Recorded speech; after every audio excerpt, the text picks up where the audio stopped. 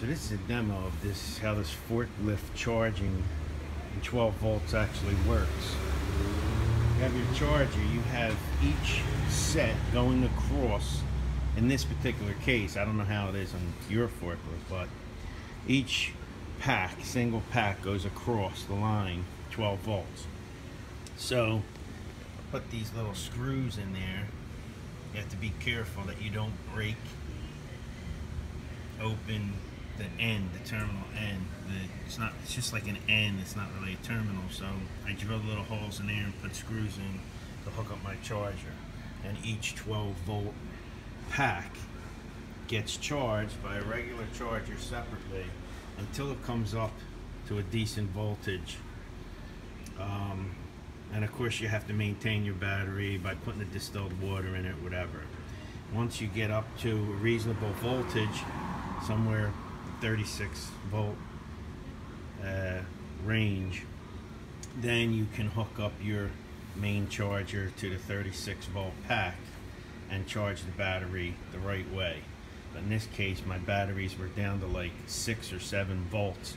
This thing pretty much went dead, and I had to use my um, battery pack on the side, my three batteries, to get it moved over to the charger and then charge it separately with a regular charger to bring it up so that the um, the the forklift charger wouldn't trip the, the, the uh, fuse.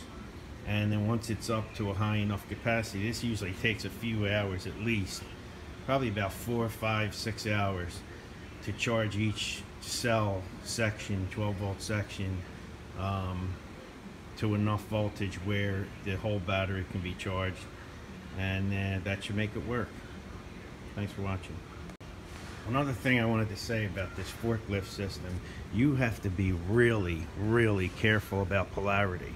You have to check and double check every time you charge something this big to make sure that the polarity is right and you have to have very good ventilation. I would suggest even air movement in this. Uh, I'm doing this here and it's pretty much the doors open. I got fans blowing you can have an explosion on any battery, let alone a battery in this capacity.